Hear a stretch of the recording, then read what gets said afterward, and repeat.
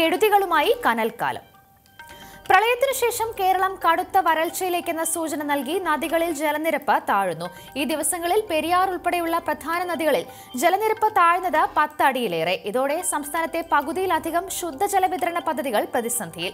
നദികൾക്ക് പുറമെ കിണറുകളിലും വെള്ളത്തിന്റെ അളവ് ക്രമാതീതമായി കുറയുന്നു. നദികളിൽ തടയണ കെട്ടി വെള്ളം സംഭരിച്ചില്ല എങ്കിൽ വരും മാസങ്ങളിൽ സംസ്ഥാനത്ത് ശുദ്ധജല ലഭ്യത കുറയുന്നതിനു പുറമെ കാർഷിക മേഖലയും പ്രതിസന്ധിയിലാകും. വേനലെത്തും മുൻപേ പാലക്കാട്ടെ കൃഷിയിടങ്ങളിലേക്ക് ഡാമുകളിൽ നിന്ന് വെള്ളം എത്തിക്കാൻ നടപടി. കർഷകരുടെ ആവശ്യം കൂടി പരിഗണിച്ചാണ് അണക്കെട്ടുകൾ തുറക്കുന്നത്. നനവില്ലാതെ ഇപ്പോൾ തന്നെ ജില്ലയിൽ വരണ്ടുണങ്ങിയത് നൂറ് ഹെക്ടറിലധികം നെൽകൃഷി. മലമ്പുഴ ഡാമിൽ നിന്ന് വെള്ളം നൽകിയാൽ പോലും പ്രളയത്തിൽ ബണ്ടുകൾ തകർന്നതിനാൽ പലയിടത്തും വെള്ളം എത്തില്ല.